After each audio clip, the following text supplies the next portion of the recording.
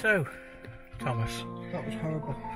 we decided to go. We decided to go for a gongoozle along the Shropshire Union down the Adderley flight. Correct? Yeah. Having a wonderful walk. Bit hot. A ladyship who's in the back uh, put her head in the water for a nice cooling drink, and then stuck her head in an, a wasp's nest. Which, um, yeah, she's still alive. We're keeping an eye on her. But after they'd finished stinging her all around her head and her mouth and God knows where, they decided it was my fault for bringing her anywhere near and they attacked me as well. I got lucky. So we're on our way home to get the TCP out. Yep. Anyway, I'll let the sunglasses take it from here.